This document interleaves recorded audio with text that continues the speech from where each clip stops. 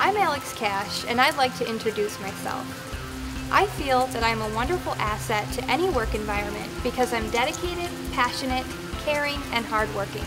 I find true joy in being a part of any team. When I served in the Peace Corps, I developed a passion for youth and community development. I enjoy being a part of any community that I live because I simply love people.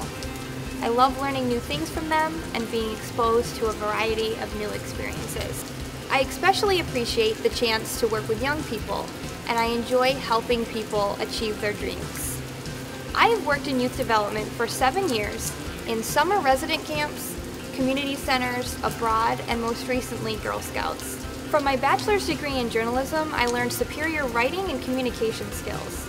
I enjoy writing every chance I get, both in and out of the workplace. I maintain a personal website with examples of my work and stories of my daily adventures. I'm fueled by those adventures and I love getting out of my comfort zone. Thank you for watching and I look forward to speaking with you.